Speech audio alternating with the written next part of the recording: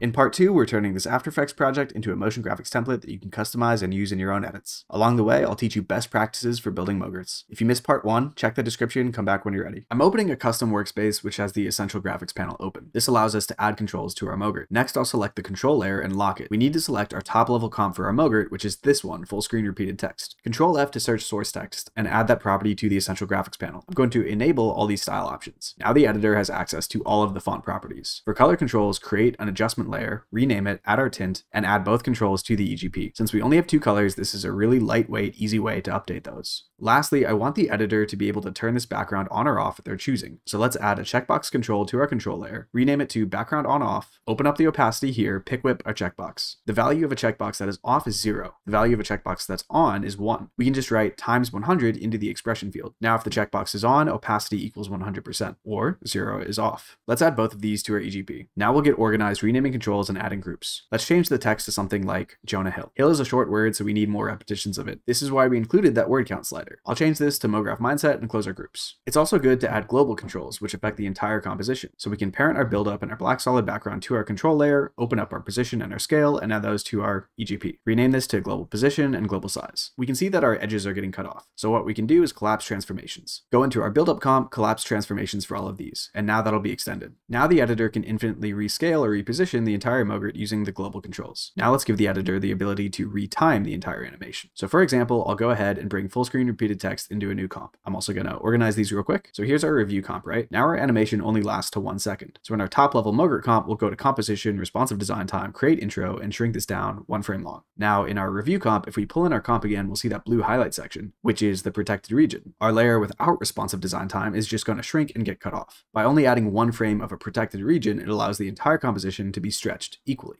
Let's trim this composition to one second. It's important to universalize your expressions so they will work in any language. I use expression universalizer because it's accurate and automatic. It's well worth the money. And now we can just name and export our motion graphic template. I'm going to change this color to something that matches our reference, like this nice orange. Export that out. If you're selling your MOGRTs, it's good practice to use default system fonts or Adobe fonts so fonts never show up as missing. But I like Caviar Dream, so we'll stick with this. So now if we hop over to Premiere, I can pull in that MOGRT and we have access to all of our controls that we input earlier with tons of customization options for our editors. And because we set this up up with responsive design time, we can stretch this MOGRT to increase or decrease the duration of our animation. Now this MOGRT can be easily customized in Premiere by you or another editor to create tons of unique variations without ever re-rendering in After Effects. Check back soon for more advanced After Effects techniques. Thanks for watching, see you in the next one.